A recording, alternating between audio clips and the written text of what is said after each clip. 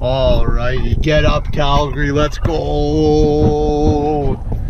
Big peak week for myself. Three peaks in two days. Irby and Koi, I've only done one, so you know I, that speaks for itself right there. In terms of caliber and raw power, but uh, you know what? They did a hard one today. I was proud of them.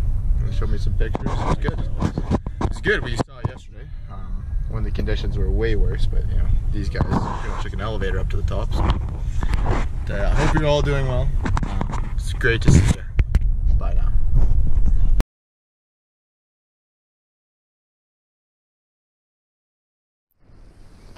May 22nd, year two of the COVID. Irby and I are doing uh, Whirlpool Ridge to Mount Frank is 507.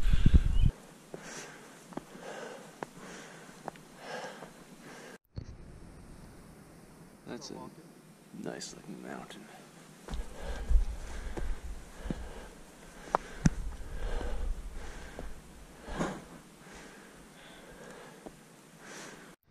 Terrain is getting better. Yeah, this is actually more difficult than I thought it would be.